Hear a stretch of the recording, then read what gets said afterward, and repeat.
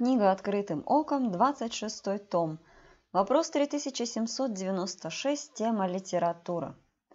Почему один все виденное старается запечатлеть, хотя оно может быть вовсе и малозначительное, а другой видит более глобальное, и все таит в себе?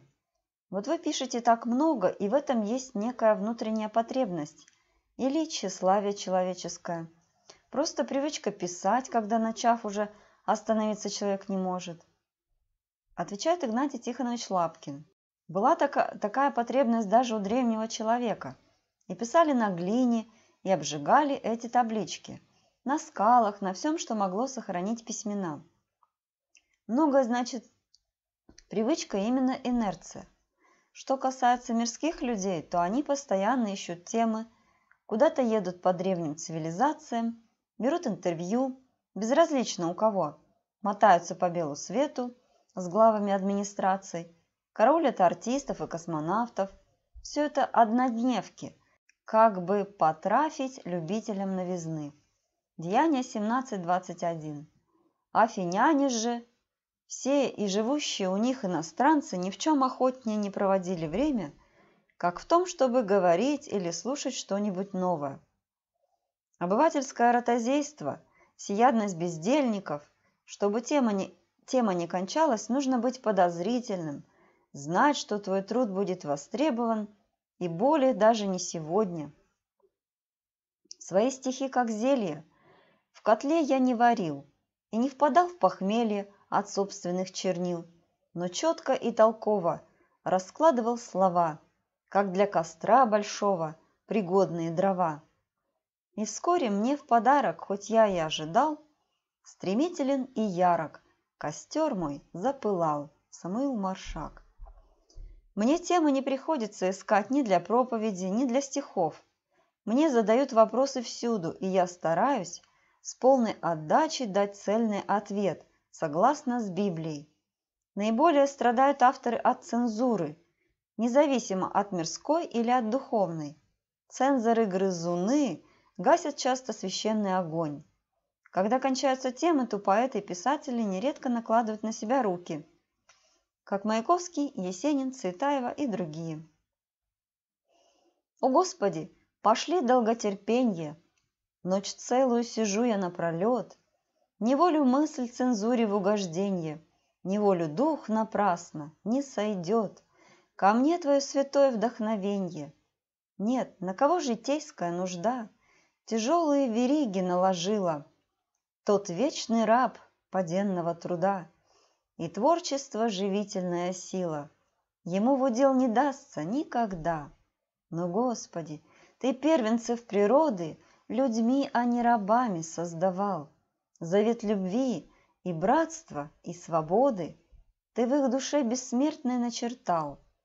А Твой завет нарушен в род и роды – Суди же тех всеправедным судом, Кто губит мысль людскую без возврата, Кощунствует над сердцем и умом, И ближнего, и кровного, и брата Признал своим бессмысленным рабом. 1855 год, Мэй. Если уж взял в руки перо, то повторяй за пророком Михеем. 3 Царств 22.14. И сказал Михей, жив Господь, я изреку то, что скажет мне Господь. Правителям всегда кажется, что спокойнее будет в государстве и успешнее все, все их дела, если все будут говорить слаженно, единодушно, как на партсъезде или в синоде. Посланный, который пошел позвать Михея, говорил ему, «Вот речи пророков единогласно предвещают царю доброе. Пусть бы и твое слово было согласно с словом каждого из них.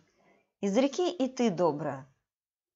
Пусть тот, чья честь не без укора, Страшится мнения людей, Пусть ищет шасткой он опоры В рукоплесканиях друзей. Но кто в самом себе уверен, Того хулы не потрясут, Его глагол нелицемерен, Ему чужой не нужен суд – ни пред какой земною властью своей он мысли не таит, Не льстит ни правому пристрастию, Вражде неправой не кадит. Ни пред венч... венчанными царями, ни пред судилищем молвы Он не торгуется словами, не клонит рабской головы. Друзьям в угодность боязливо Он никому не шлет укор. Когда ж толпа несправедливо Свой постановит приговор, Один, не следуя за нею, Пред тем, что чисто и светло, Дерзает он, благоговея, Склонить свободное чело. 1859 Толстой. Слово запечатленное слышно дальше и дольше, но как должно, должно быть не сочинителем, а рупором Господа Бога Иеговы. Если сегодня перебрать все, что печатается с прицелом на вечность, то будет едва ли сотая доля всего лишь одного процента нужным из того, что идет в макулатуру. Все это безрыбье от неверия в Бога, от бездуховности, от трусости и бесталанности, когда человек сам топорщится вскарабкаться на Моисеево седалище, не будучи туда позван. Что такое случилось со мною? Говорю я с тобою одною, а слова мои почему-то повторяются за стеною, и звучат они в ту же минуту в ближних рощах и дальних пущах, в близлежащих людских жилищах и на всяческих пепелищах, и повсюду среди живущих. Знаешь, в сущности, это неплохо. Расстояние не помеха, ни для смеха и ни для вздоха. Удивительно мощное эхо. Очевидно, такая эпоха. 1955 Леонид Мартынов. Без Слова Божия, который есть меч Божий, все написанное может стать злом и камнем на шее, который потянет в преисподнюю. И не следует вообще смотреть на то, многие ли разделяют твое мнение. Ты сверяйся постоянно только с Библией и с тем, что говорили на эту тему святые отцы Церкви Христовой. Ты, обогревший кровью меч, склонил смиренно перья шлема. Перед сиянием тонких свеч дверях пещеры Вифлеема. И ты хранишь ее один, безумный вождь священных ратей, Заступник грез, святой Игнатий, Пречистой Девы паладин.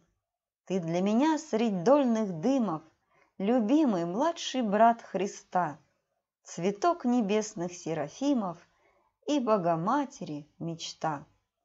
Поликсена Соловьева, Черубина де Габриак. Паладин в переносном значении человек, беззаветно преданный какой-либо идее или лицу. Немало книжек выпущено мной, но все они умчались точно птицы, и я остался автором одной, последней недописанной страницы. Самуил Маршак. Колоссянам 3.23. И все, что делаете, делайте от души, как для Господа, а не для человеков.